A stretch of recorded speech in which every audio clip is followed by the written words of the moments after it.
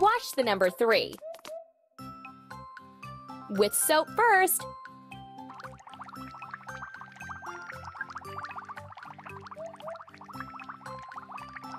Wash away the soap with water.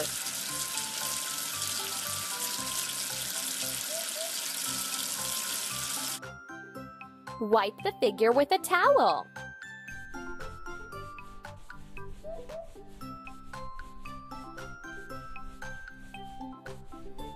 done!